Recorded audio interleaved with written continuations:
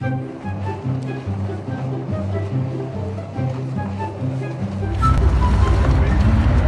to hide. You guys should get right in front of the Hyundai sign right here.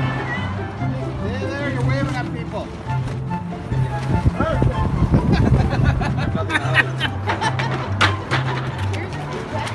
Yeah, because David took the better box. David always takes the better box.